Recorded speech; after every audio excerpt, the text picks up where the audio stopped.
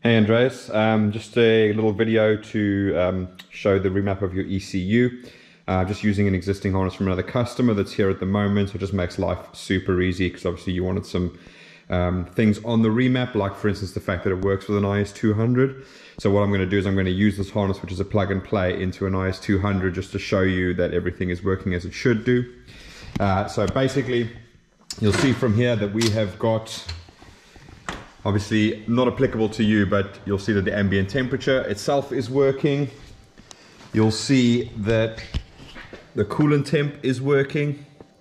The oil light's working, the charge light's working, obviously check engine light, but that's analog, so it doesn't really matter. So all the information that's transmitted via MPX to the IS200, that is all working and remapped on your ECU. So you see there's no, no gauge device or anything on there, it's just running directly from the software on there.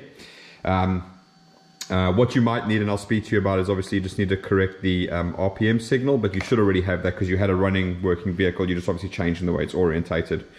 So what we're going to do now is we're just going to fire it up to show you that obviously the immobilizer is removed um, from the ECU itself and we'll check that we've got no code so you know that all the automatic gearbox is now completely removed from the ECU itself and you've got no codes in relation to that.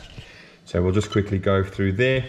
You'll see we've got the check engine light on now. As soon as I fire it up, the check engine light's gonna go off. So I'm just gonna put my ear protection on. So bear with me a second. Right, so let's fire it up. Okay, check engine light's gone off. Those lights have gone off. We've got the tach working and obviously the coolant temp is working.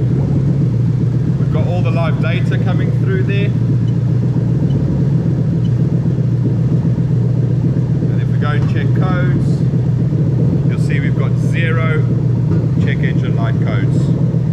So absolutely nothing on there. Okay, so yeah, you can see that's your ECU. It's got your name on it. It's all grounded off where it fitted into the original ECU box.